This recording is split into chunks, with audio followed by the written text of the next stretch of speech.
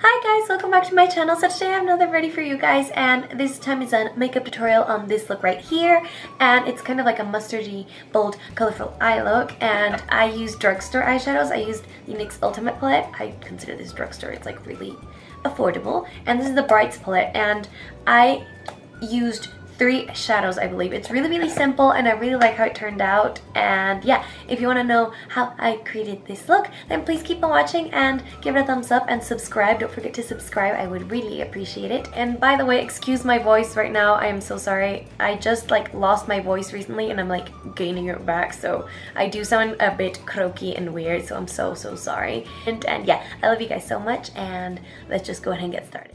Hi guys, I'm just going to go straight into it and start with my eyes and I'm going to prime them with this Gosh Prime and Refresh Illuminating Eye Roll-On and I'm just going to apply under my eyes and then blend it away gently with my ring finger. And I just discovered this brand, I really like this eye roll-on but I do not find it that illuminating, it does tighten my under eyes so it feels really refreshing in the morning and perfect for applying my makeup.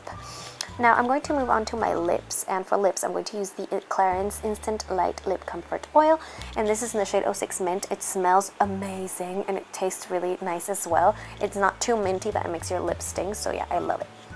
Next, for my eyelids, I'm going to prime them with the NYX Gotcha Cover Concealer in the shade 00 Alabaster.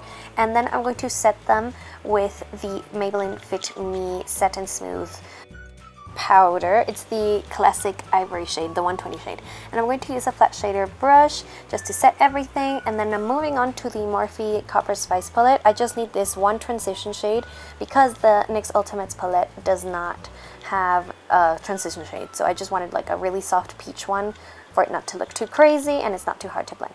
But yeah, going in with the star of the show, I'm going to use this like orangey yellow type of shade and I'm going to use it with a Coastal Scents BR250 Pro Fluff brush or something like that. I really like this brush. It feels high-end and it's really affordable so I'm going to link everything down below as per usual and yeah I'm going to go back and forth with these two brushes and that same shade and just buff it away so it looks like really seamless and then I moved on to this yellow lemony zesty shade. I don't know, it reminds me of lemons. And I'm just going to apply that to the very center of my eye, really close to my lash line. And then I go in again with the other Coastal Scents brush. And I'm just going to buff it and blend it. Now I actually grab some of the orangey shade and just buff it into my inner corner. And then I move on to the NYX White Liquid Liner. Now I really wanted to go with like a white liner to make it a little bit bolder because since this eye look is so simple and so easy, I wanted to like make it pop a little with the white liner. I do recommend that you try to nail the liner the first try, like not reapply and reapply and reapply and fix it because it, if you will apply it again after it's dry, it starts to crack, so yeah. As per usual, I'm going to cr curl, crack, curl my eyelashes and then go in with the Maybelline Lash Sensational Mascara, the waterproof one. And I'm just going to give it a small coat to my lashes because I'm going to move on to my fake lashes. And these are the Revlon Beyond Natural Lashes in the number 91303 and they're kind of like an in-between of the Salon Perfect Demi Wispies and the Ardell Demi Wispies. These are like in the middle, so I really thought they would look nice and cute for this look. Like not too dramatic, nice and simple. So yeah, I really like how this look looks. It's so simple. I loved it. But yeah, I'm going to remove all the fallout with a makeup remover wipe and the concealer. There wasn't much fallout at all. It's just like three shadows I used literally and it was so easy. So I just wanted to clean it up a bit before I went in with foundation. And yeah, I'm going to prime my face with the Nivea Post Balm and the Makeup Forever Step 1 Smoothing Primer. It's the gray one. And yeah, I am the smoothing primer, as you can see, I'm just applying it to my cheeks where I have larger pores and my nose, which gets a little bit oily. For foundation, I'm going to use the Makeup Forever Ultra HD Stick Foundation, and I'm going to go in with this because I didn't feel like my skin was as nice as it normally is and I was just like nah I'm going to use a lot of foundation today. So yeah I'm going to use this brush right here. It's the um, Manifar Cosmetics flat top synthetic kabuki brush and I really love it for this foundation. It makes the blending of foundation so much easier and so quick so yeah I just edited everything out so you didn't have to see me buffing all my foundation because you get the gist of it. It's just like buffing it out a little bit, stippling, it, stippling it. And I did go in with a little bit more on my cheeks, my nose, and my forehead because it's a little bit red there and I wanted to cover that. I wanted to be flawless, like this flawless skin, really porcelain doll type of look. And then I went in with the Anastasia Beverly Hills Concealer in the shade 1.00 and I'm just going to use a tiny bit on that brush, that's a pencil brush, and I just conceal my blemishes because I did break out and I wanted flawless skin like I said. So yeah, I found that the easiest method to um, blend out the concealer for like spot concealing per se is just with the same foundation brush. So yeah that's a tip for you and then as you saw, I'm going to go in with concealer and I'm using, as per usual, my Tarte Maracuja Creaseless Concealer, my holy grail, and then I'm also using the NYX Gotcha Covered Concealer to highlight afterwards. I just love the Tarte one, seriously guys. When you found the concealer, the one concealer, I don't really find like a need to search for another one. So yeah, for the sake of my videos, I'm going to search for more concealers, but for now, it's just my holy grail. I love it so much. Anyways, um, this is the NYX concealer right here that I'm using to highlight. I do prefer cream highlighting, like highlighting my face with a concealer rather than with an actual highlight and contour cream palette or with powder. I just, it feels better in my under eyes. Seriously, my under eyes are really dry, so I prefer it with concealer and I really like it when I blend it out with this sponge as well. So that combination is just like my favorite. That's why I do it that way. And then to set my under eyes and my whole face actually, I'm going to use the same Fit Me powder that I used to set the NYX concealer on my eyelid when I primed, so yeah. I just set my under eyes with a smaller brush and then this is a bigger fluffy brush and I'm just going in just really lightly. I don't want too much. I'm not going in on this. We I can't speak English, I'm sorry. I just, I didn't go in with that powder. I just wanted to look dewy. That's what I was trying to say, I'm sorry.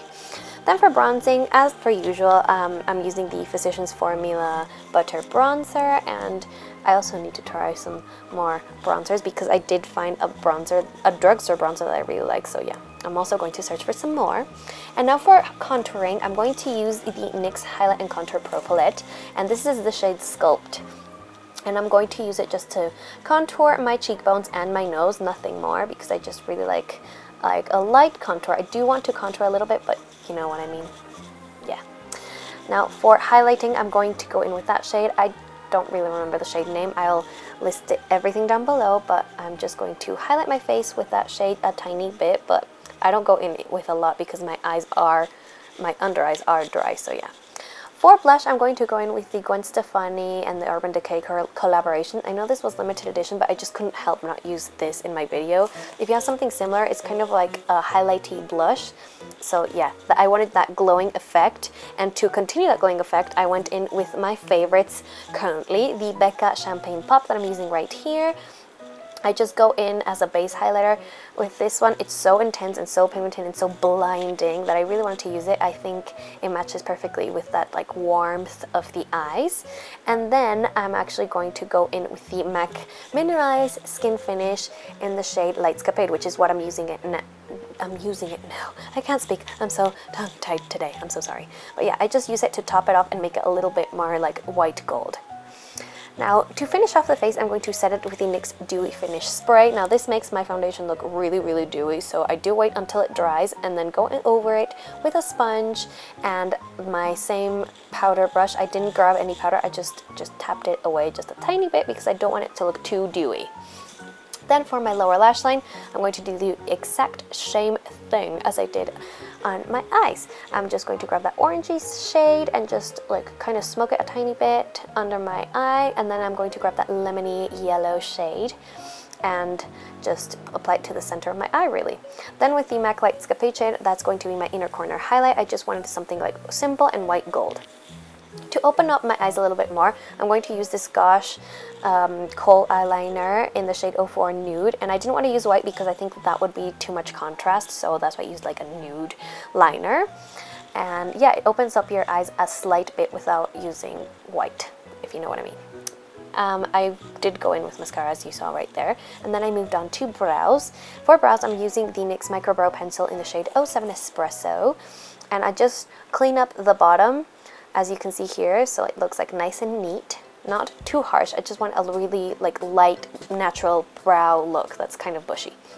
And then I kind of drew some baby hairs there like hair like strokes you know like small strokes to make that natural effect. And just like combed the spoolie through and then I went in with my L'Oreal Brow Artist Plumper um, brow gel it's in the shade medium but dark and it has some fibers in it which makes my brows look even bushier so I really like just like combing my brows upward for this look and looking at a little bit more natural than usual.